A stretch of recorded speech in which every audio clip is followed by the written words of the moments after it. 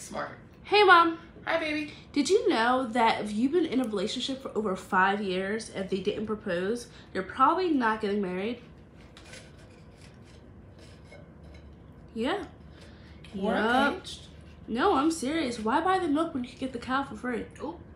But we're engaged. But you're not married. It's been seven years. There, Tina. That's a shame. Tina. What? You don't want to marry me? Let's get married. No, I don't want to.